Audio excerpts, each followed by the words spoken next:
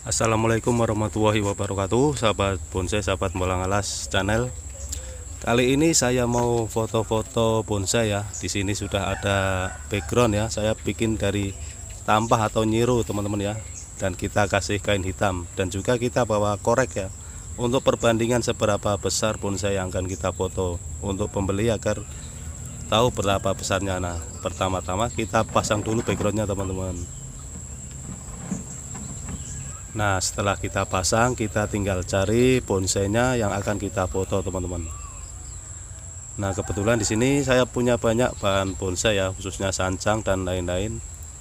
Ada yang prokar, ada yang liukan ekstrim atau split terang ya. Juga ada yang dongkelan yang baru saya dongkel tetapi sudah saya tanam lagi di pot ya atau di polybag. Nah kita yang pertama ini adalah hasil dongkelan ya teman-teman ya. Ini sudah saya tanam di pot dan sudah subur. Nah sekarang kita akan perlihatkan di belakangnya ada backgroundnya teman-teman. Nah seperti ini penampakannya teman-teman. Ini ukuran small ya di atasnya mame. Nanti kita akan perlihatkan. Nah ini dengan korek teman-teman. Korek ini untuk perbandingan ya. Jadi ini tingginya kurang lebih 20 atau 25 cm ya teman-teman ya. Ini sudah ada tangan-tangannya. Itu waktu dongkelnya polosan ya ini sudah ada tangan-tangannya juga. Untuk terusan ke atasnya juga sudah ada teman-teman. Ini hasil dongkelan beberapa bulan yang lalu. Nah kita akan ganti lagi teman-teman ya dengan bonsai yang lainnya. Nah kalau ini ukuran mame teman-teman ini sudah ada cabang-cabangnya ya sudah ada gerak dasarnya akarnya juga sudah muter teman-teman ya. Nah ini perbandingannya korek teman-teman. Oke nah buat yang teman-teman yang berminat bisa di screenshot ya. Screenshot lalu bisa di WA untuk jika ada yang berminat teman-teman ya. Nanti nomor WA nya ada di deskripsi ya. Oke kita akan ganti lagi dengan pohon yang berikutnya teman-teman Nah kalau yang ini sudah pernah saya buat videonya teman-teman ya ini hasil cangkokan tetapi sudah dipecah batang ya. Jadi waktu cangkok dulu saya pecah batang dulu baru dicangkok. Nah ini hasilnya teman-teman ya. Ini ukurannya lumayan besar ya. Dan ini mame atau small teman-teman ya. Oke jika yang berminat bisa di screenshot lalu WA ya teman-teman ya. Ini sudah tangannya ada sudah ada ranting-rantingnya juga. Oke next kita akan perlihatkan pohon apa lagi teman-teman. Masih sancang ya teman-teman. Nah kalau yang ini sancang pelintiran teman-teman ya. Split terang nah, atau pecah batang ya. Nah ini selain di pecah batang dan di pelintir ini juga diliukkan teman-teman.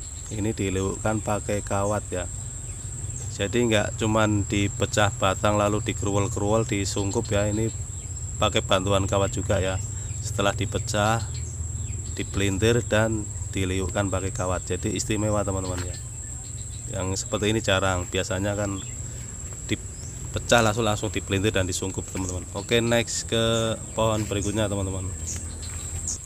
Ini masih sancang juga teman-teman ya. Nah ini akarnya sudah sangat mantap teman-teman ini ukuran mame ya mame atau bogel bogel tapi pendek ya besar dan pendek.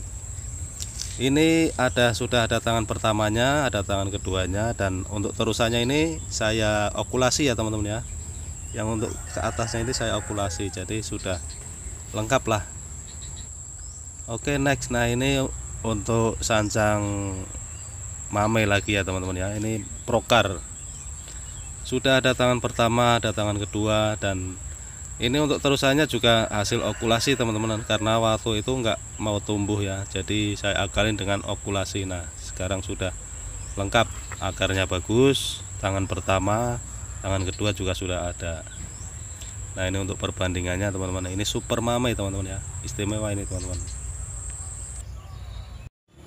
Nah sahabat itu tadi yang ada di pot ya yang bisa dipindah. Nah ada juga yang sudah dipot tetapi tidak bisa dipindah atau diangkat ya karena akarnya itu sudah ketanam di bawah ya.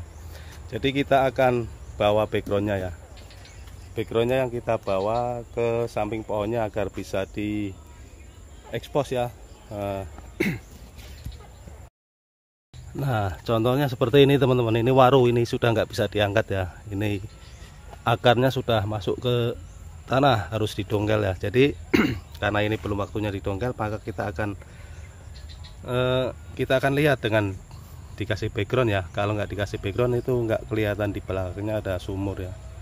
Ada daun-daunnya juga jadi nggak kelihatan. Oke kita akan kasih background teman-teman. Nah jadi kelihatan liukannya dan gerak dasarnya teman-teman ya ini sudah ada tangan pertama ini ya ini ya tangan kedua. Ini ke belakangnya juga sudah ada teman-teman ya. Ini tinggal ini ke, ke atasnya baru saya potong kemarin. Nah jadi kalau tanpa background itu nggak bisa kelihatan ya. Nah ini dari atasnya teman-teman. Nah ini waru India teman-teman ya. Oke kita akan lanjut lagi ke waru berikutnya waru Taiwan teman-teman sebenarnya juga masih banyak ini ya di ini sancang-sancang ya teman-teman ya. Ini kalau kita kasih background itu kelihatan geraknya teman-teman. Oke kita akan menuju ke waru Taiwan.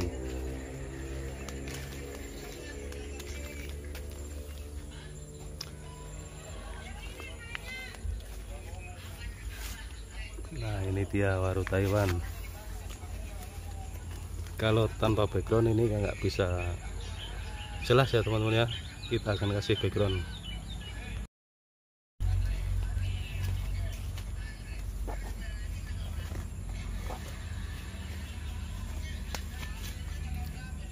Nah udah kelihatan atau ini kayak formal ya. Ini ada tahan satu dua ini terusan.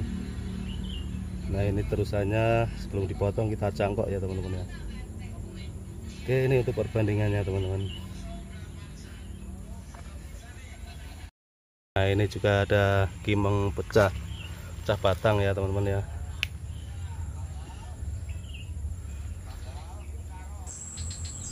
Ada juga anting putri dongkelan ya teman-teman ya. Ini ukuran kecil-kecil barusan saya dongkel dan ini sudah saya pindahkan ke polybag dan sudah subur teman-teman ya Nah jika berminat ini yang masih murah teman-teman ya. Ada juga ini sancang sancang meleuk nah, ekspos akar. Oke demikian tadi video saya e, mengambil foto atau gambar bonsai ya agar pembelinya itu jelas ya karena harus kelihatan kalau mau orang mau beli itu harus kelihatan cabang-cabangnya akarnya yang pertama itu harus ada backgroundnya ya teman-teman ya bisa pakai yang penting pakai kain hitam ya kalau bisa ya dan juga ada perbandingan ya bisa dengan korek bisa dengan botol air mineral dan lain sebagainya yang yang populer ya Oke terima kasih yang sudah menonton video bolang alas dari tadi ya Semoga bermanfaat. Nantikan video selanjutnya. Wassalamualaikum warahmatullahi wabarakatuh. Salam bonsai.